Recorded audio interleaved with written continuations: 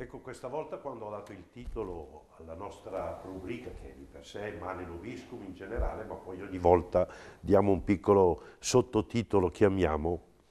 e l'ho dato in eh, lingua latina, come potrete vedere. E allora il nostro regista Vladimir è andato un po' a spulciare nei suoi studi antichi di latino per cercare di capire cosa poteva voler dire Pax tibi marce evangelista meus, questo poi non c'è, Pax tibi marce,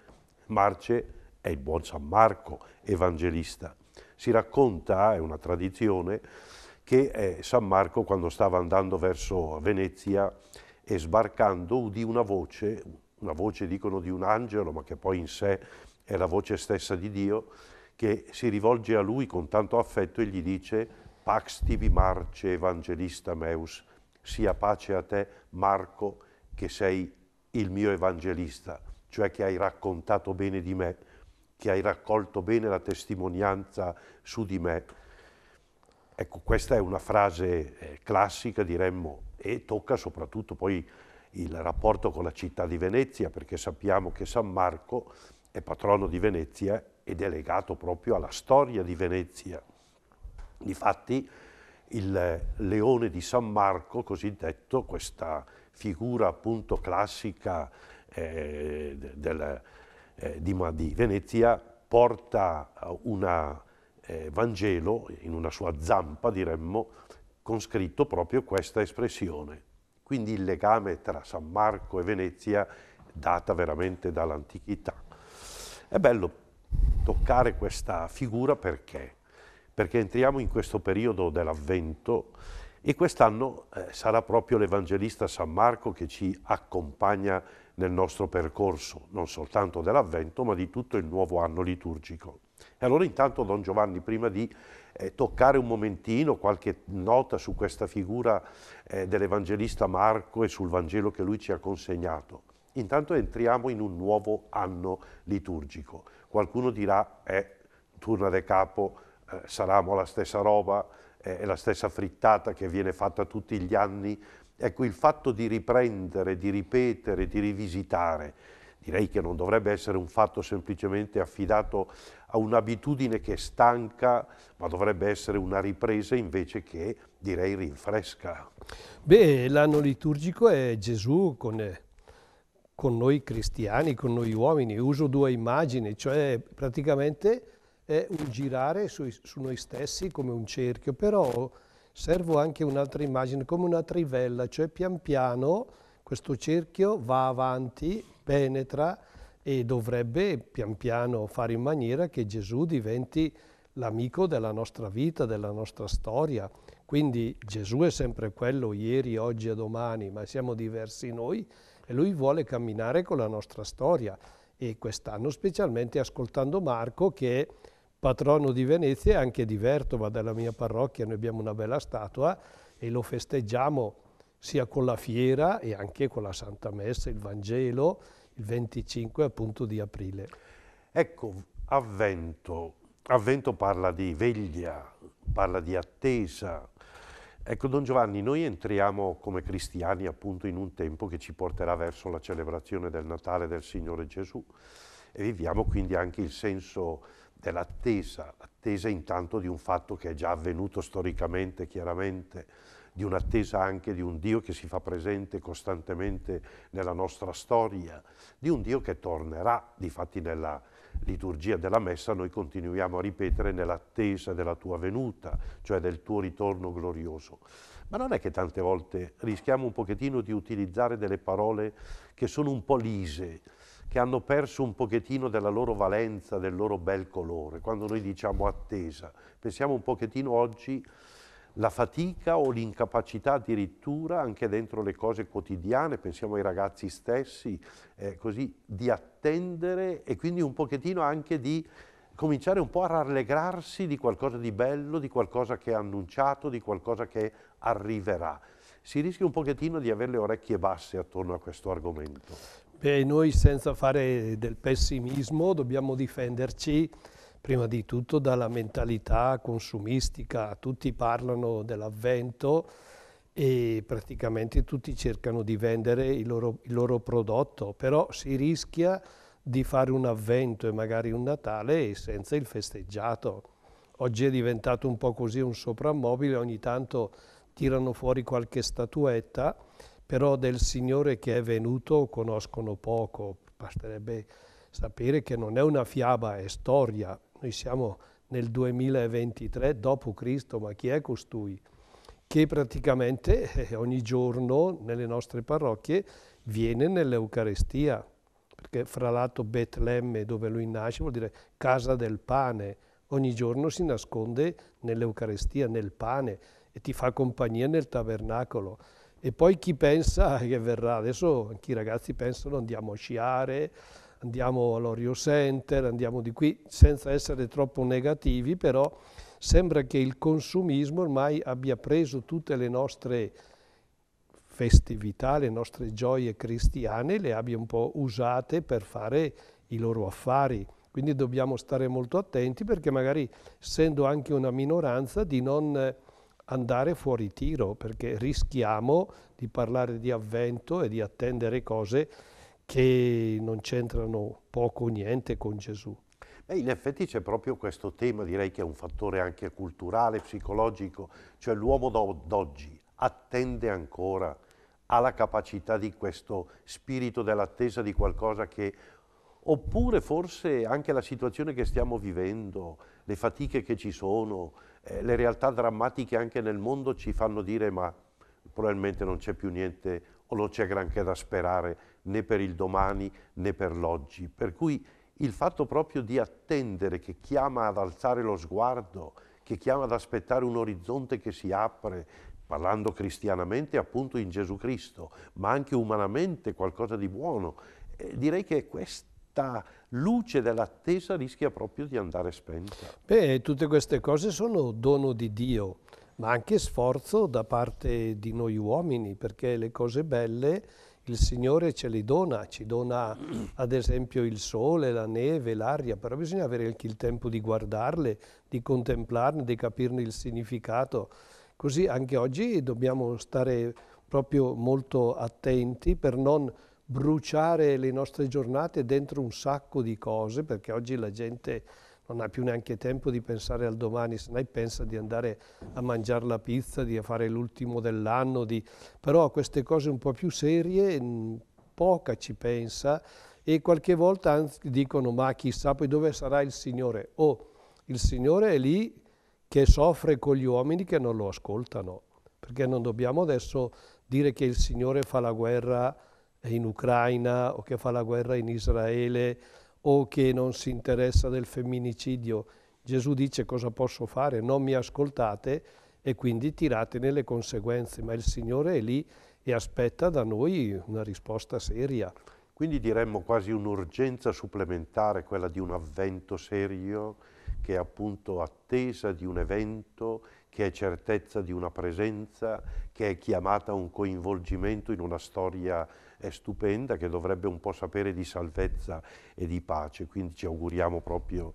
che possiamo questo mese viverlo con questa disponibilità. Torniamo un pochettino al fatto appunto che in questo avvento, in tutto il nuovo anno liturgico che si apre,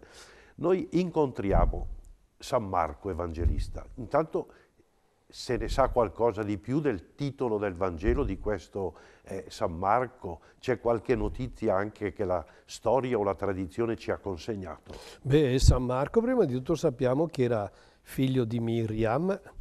e addirittura dagli atti degli Apostoli sappiamo che lui e sua madre, che probabilmente era vedova, ha prestato la casa ai primi cristiani. C'è un fatto poi nel suo Vangelo che a 12 anni era un ragazzo coraggioso e curioso, la notte in cui Gesù fu arrestato nel Getsemani si parla di un ragazzo che era andato a vedere e le guardie lo afferrano, lui riesce a scappare nudo, lasciandogli, probabilmente aveva sul lenzuolo, scappando via nudo. Quindi sappiamo questo. Poi che è stato amico di Pietro, ma prima ancora di Paolo, perché ha fatto anche un viaggio insieme con Paolo. Poi a un certo punto sembra dalla storia che lui abbia voluto venire a casa da questo viaggio missionario perché la mamma non stava bene e lui ha detto vai a casa con tua madre e Paolo è andato da solo, allora diventa poi amico di Pietro da cui impara veramente anche a scrivere il suo Vangelo, perché il Vangelo è ricchissimo di particolari. Ad esempio ti dice, non so com'era l'erba, era verde, quanta gente c'era, com'era la barca. Questo vuol dire che qualcuno è stato testimone oculare, cioè ha visto quelle cose, non le ha solo sentite dire, non sono fiabe. E ha scritto naturalmente il Vangelo che è il più corto dei, dei quattro Evangeli, il più corto, ha solo 16 capitoli, con un'idea fondamentale, lui non scrive niente dell'infanzia di Gesù, altre cose, con un'idea fondamentale che Gesù è il figlio di Dio. Inizia così e poi sulla croce un centurione dice uno che muore così è davvero il figlio di Dio. Ecco, qui verrei un momentino al fatto determinante, perché il Vangelo di, Giovanna, di Marco, come tu dici, non si, non si perde sulle faccende dell'infanzia di Gesù, parte subito proprio quando Gesù inizia la sua missione, con quell'espressione Vangelo di Gesù Cristo, figlio di Dio dove tra l'altro la parola Vangelo già di per sé stessa non vuol dire inizia il libro che parla di Gesù Cristo, perché la parola Vangelo ha un significato molto forte, buona notizia, per cui dicendo così Marco praticamente fa percepire che lui parla di Gesù Cristo che è la buona notizia. Cioè il Vangelo non è semplicemente un libro che viene scritto e che raccoglie le parole e i gesti di Gesù, ma che vorrebbe dirci appunto che la bella notizia che Dio dice sulla storia è il figlio suo stesso e Gesù Cristo. Direi che qui appunto come accennavi c'è dentro un po' il cuore stesso di quello che Marco intende annunciare, annunciare una buona notizia ma che è una buona notizia che è una persona. È verissimo, la perla preziosa, il tesoro nascosto, non è una filosofia nuova, una consuetudine nuova, un impero nuovo, è una persona. Praticamente la fortuna dell'uomo, la bella notizia, il Vangelo, è Dio che si prende cura di noi per stare con noi perché poi terminerà dicendo io sono con voi tutti i giorni sino alla fine del mondo. E ci ha indicato che quando noi ad esempio ascoltiamo la sua parola, celebriamo i suoi sacramenti, incontriamo una persona, lì dentro si nasconde il Signore vivo e risorto. Quindi il centro di tutta la sua, del suo messaggio, naturalmente sentito anche da Pietro, testimoniato dagli Apostoli, specialmente da Paolo, è una persona, è Gesù. È lì la fortuna dell'uomo. E anche a noi che vogliamo parlare di tante cose, fare tante cose, dovremmo capire che al centro di tutto del nostro cuore, del nostro impegno, della nostra speranza è proprio Gesù vivo e risorto. In effetti ecco lo scritto di Marco probabilmente è il più antico, il più sintetico anche e è quello anche che vorrebbe un pochettino diventare codice eh, diciamo per chi vuol mettersi al seguito di Gesù Cristo. Cioè quest'altra eh, cosa mi sembra determinante? Marco sembra che voglia scrivere il suo Vangelo appunto prendendo dalle parole e dalla testimonianza di Pietro per aiutare le persone che vogliono essere accompagnate a conoscere Gesù Cristo, a riconoscerlo come Messia, a incontrarlo nella fede come figlio di Dio. Direi che tutta la sua struttura anche ha un pochettino questo intendimento. Sì, è molto verissimo questo, perché mentre ad esempio Matteo, quando Gesù compie una cosa, dice sempre così era scritto nella Sacra Scrittura, nell'Antico Testamento e Gesù lo realizza, Marco non ne fa mai accenno perché sa che parlando specialmente i romani che erano pagani non potevano conoscere l'Antico Testamento e quindi si rivolge ai pagani del suo tempo Ecco che allora abbiamo anche noi la fortuna oggi di poter ascoltare in quest'anno liturgico l'anno eh, B, appunto perché c'è l'anno A con Matteo, l'anno B con Marco, l'anno C con Luca, Giovanni viene letto un po' nei tempi forti. Abbiamo la fortuna di ascoltarlo Marco perché anche noi stiamo diventando un po' pagani, non conosciamo niente dell'Antico Testamento e a volte ignoriamo anche quelle poche parole quelle cose belle che il Signore ci ha detto e Marco ce le ripete in una maniera precisa, sintetica, con parole, con parabole e anche con miracoli, dove in questi miracoli si notano tanti di quei particolari che dicono si vede che Pietro era proprio presente perché per ricordarsi tutte queste cose si vede che le ha proprio viste e lo hanno impressionato. È interessante anche il fatto appunto di come Marco voglia evidenziare anche l'umanità di Gesù, figlio di Dio, ma la sua umanità, raccogliendosi parole, ma direi soprattutto raccontando fatti, possiamo chiamarli miracoli, ma attenzione a usare bene questa parola, sappiamo che sono gesti attraverso i quali Gesù dice la sua storia di salvezza, la vicinanza all'uomo, il fatto che lui è venuto a guarire, ma a guarire l'umanità nel suo complesso, è venuto a liberarci dal male, che è il male soprattutto del peccato, che è la radice poi di tutto, è venuto a dirci che lui è fonte della vita, ecco allora la chiamata alla vita. Direi che questa umanità emerge proprio bene attraverso proprio tutto quello che Gesù dice, ma soprattutto attraverso quello che Gesù fa. Così evidenzia soprattutto l'Evangelista Marco. È davvero, cioè in quello che il Signore veramente fa, che moltiplica il pane, che si ferma a parlare con la gente e soprattutto Marco in 16 capitoli, 4 sono spesi a parlare dell'arresto, della passione, della morte, e del tradimento eh, del suo amico Pietro e della risurrezione. Quindi punta sull'essenziale, ad esempio lui, Marco, non parla neanche del Natale o dell'infanzia di Gesù, perché dice vabbè, sono cose importanti, ma l'essenziale è questo, che il Signore si è fatto uomo, ti ha capito uomo, perché tu possa diventare Dio, cioè tu possa essere felice incominciando da qui a vivere quelle cose che il mio amico Pietro mi ha detto perché lui è stato con Gesù.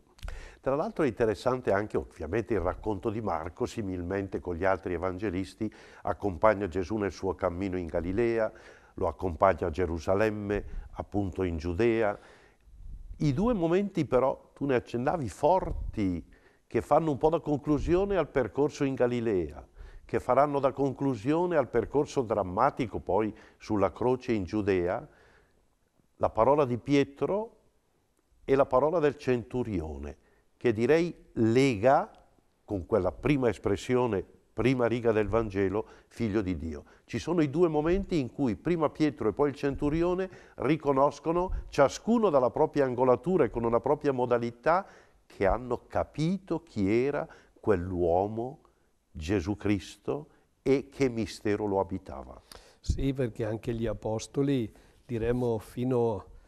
alla risurrezione hanno capito tanto e poco di Gesù. E Pietro lo capisce in Matteo, ma anche in Marco, quando a un certo punto viene anche scelto a diventare un po' il vicario di Cristo, ma nello stesso tempo lo capisce un po' alla sua maniera. Solo dopo eh, dirà davvero che tu sei il figlio di Dio. Così anche